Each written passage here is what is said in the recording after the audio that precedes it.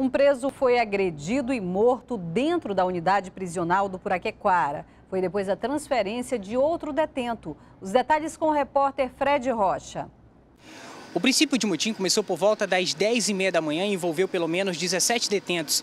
Em nota, a Secretaria de Estado de Administração Penitenciária informou que o motivo foi porque ontem houve a transferência de seis presos que estavam no Centro de Detenção Provisória Masculino aqui para a unidade prisional do Puraquequara. Esses detentos foram levados para a área de triagem, onde já estavam outros 11 presos. Hoje pela manhã, eles se desentenderam um dos detentos que já estava aqui tentou agredir Ariel de Souza, que havia sido transferido. Ele é conhecido como Sassá, mas o Ariel conseguiu fugir. Já Roberto Campos Palmeira não teve a mesma sorte. Ele ficou bastante machucado e foi levado para o Hospital e Pronto-Socorro João Lúcio aqui na Zona Leste com ferimentos na cabeça e nos braços e não resistiu. Os outros detentos envolvidos na confusão vão ser ouvidos aqui no 28º Distrito Integrado de Polícia, que fica também na Zona Leste. Apesar disso, a situação foi controlada pela direção aqui do presídio. Fred Rocha para o Jornal em Tempo. E na manhã de hoje, um homem foi baleado durante uma tentativa de assalto a um policial civil na saída de um banco no Alvorada.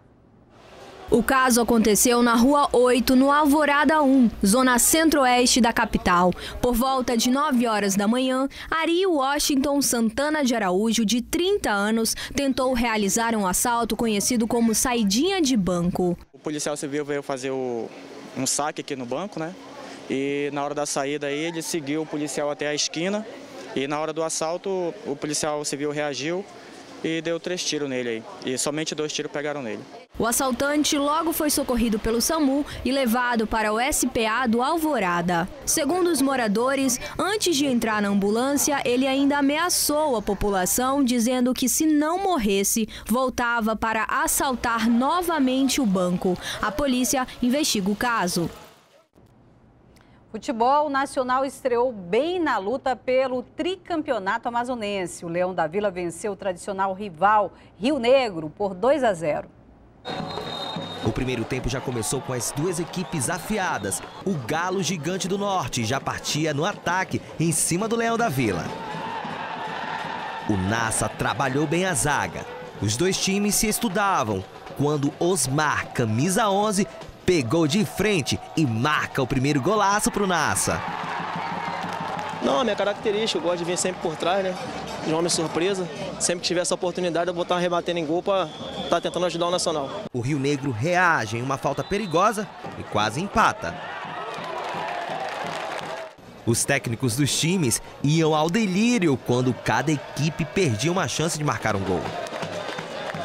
O primeiro tempo termina Nacional 1, Rio Negro 0 e a torcida vibrava na colina.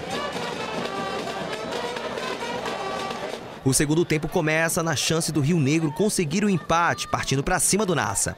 Falta a favor do Galo logo nos primeiros minutos, e entre várias faltas, nada do primeiro gol do Alvinegro.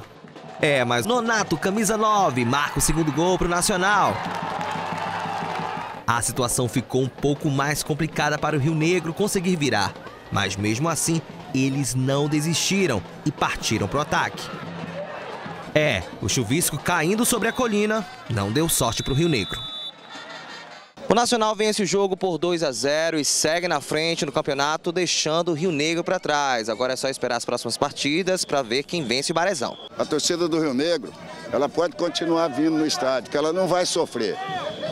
Nós vamos ter alguns resultados adversos, mas nós vamos disputar título esse ano. Nós procuramos estudar a equipe do Rio Negro, é, procuramos neutralizar é, algumas situações das características dos seus jogadores, mas valeu o espírito de luta, de equipe, de conjunto, a cada degrauzinho que nós estamos passando. Gestores e empresários do Amazonas reuniram em fórum para discutir formas de combater a crise. A expectativa é de crescimento de 5% para o ano que vem. Competição trabalhar com concorrente para melhorar o desempenho no mercado, além de fazer ajustes para uma administração melhor. É isso que essas 60 empresas da indústria, comércio, prestação de serviços e até da educação fazem aqui. Essa é a sexta edição do Fórum da Associação Brasileira de RH. É verificar de que forma o, o, a área de gestão de pessoas pode ajudá-los a minimizar os impactos, né? a, a utilizar melhor os recursos e de encurtar o caminho para atingimento desses objetivos. Apesar do desemprego ter aumentado no Amazonas, os empresários apostam num crescimento de 1,3% ainda nesse semestre. E para o ano que vem, a meta é de 5%. Já começamos a fazer a curva positiva. Então, há uma possibilidade de nós crescermos de 1 até 1,3% esse segundo semestre e uma expectativa muito positiva para o ano que vem, em torno de 3 a 3,5%.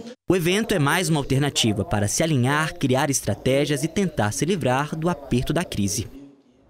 A ex-ginasta Daiane dos Santos está em Manaus. Ela é embaixadora de um projeto de educação ambiental que desenvolve atividades na zona ribeirinha essa semana. Hoje foi a vez da região dos Solimões.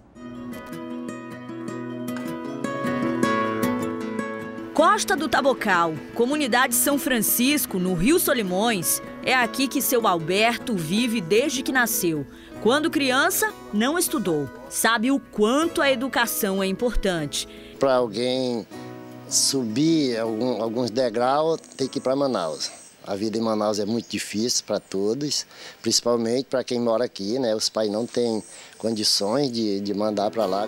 Ele é o morador mais antigo dessa região viu a única escola da comunidade ser construída há 50 anos. É onde estuda o Oliver, de 5 anos, o mais falante da turma. O que você quer ser quando tiver maior? Eu, eu quero ser atleta. É? Você acha legal? Uhum.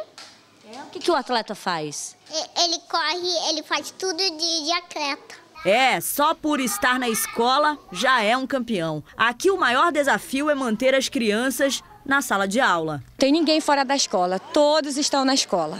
Isso já é um grande avanço. Com certeza, já é um grande avanço. É uma dessas comunidades tranquilas, mesmo perto da cidade, onde o acesso à saúde, educação é muito difícil. Imagina o incentivo ao esporte. Mesmo assim, apesar de todos os obstáculos, a distância entre sonho e realidade parece muito curta para essas crianças. Sobra vontade. E hoje eles nem imaginavam. Iam ficar pertinho de uma atleta profissional, ex-ginasta, a primeira brasileira a conquistar uma medalha de ouro em um campeonato mundial. Daiane dos Santos veio falar de educação ambiental. Esse é o Rio. Esse é o Rio. É o Amazonas. É o Amazonas. Que cuidar. Temos que cuidar. Você está sabendo. Você está sabendo. Se jogar lixo nele. Se jogar lixo nele. Ele acabará morrendo. Ele acabará morrendo. Ela visita a região norte para divulgar um projeto e trocar experiências com essa garotada. Então é muito bacana poder estar perto deles, conhecer um pouco mais né, da cultura de cada região e saber um pouco mais deles também. Sem pressão. Hoje, brincou e incentivou a prática de esportes de qualquer modalidade, da ginástica ao futebol. Deixou as crianças encantadas, de olhos atentos, ainda mais apaixonadas. O que você achou dela? Ela é muito legal, pedi até um autógrafo dela no meu caderno. E você sabe o que você vai ser quando tiver maior? Eu quero ser jogador de futebol. O projeto está em Manaus desde o dia 11 de agosto. Já foi apresentado para mais de 4 mil crianças amazonenses. A maioria dessas crianças deixa o projeto assim, certa de que sonhar é importante e realizar o sonho é possível. Se lixo ele é... Mais alto! Esse rio, esse rio é nosso. Jornal em Tempo de hoje fica por aqui. Você pode rever as nossas reportagens na nossa página no YouTube ou ainda no portal Em Tempo. Tem também o número do WhatsApp para você ligar para a gente sugerir matérias. Uma ótima noite. A gente se vê amanhã, 18h15. Até lá.